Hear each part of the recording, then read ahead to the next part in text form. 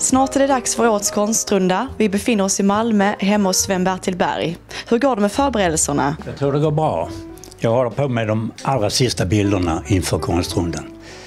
Det är två, tre stycken som jag måste få färdiga. Som jag tänker hänga upp. Vad är det bästa med att vara konstnär, tycker du?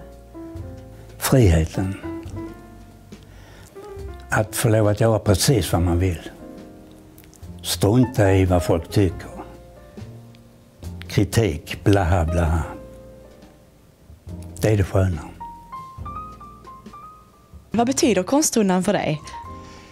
Ja, den betyder ju en eh, säker utställning en gång om året. Jag ställer ut på andra ställen också under året. Men eh, den biten har jag börjat trappa ner en del.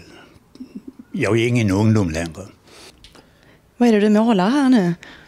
Ja, det är en av dessa fasader från Sydfrankrike, Provence.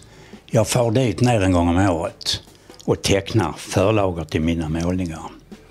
Och här är det ett hus som jag har placerat in i en miljö dit det egentligen inte hör hemma. Men det går bra ändå. Det bästa är när lokalen är knökad med folk. Det är jätteroligt att se att så många intresserade finns.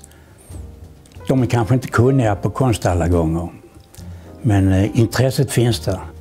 Och det kan vara början till en konstupplevelse. Förhoppningsvis.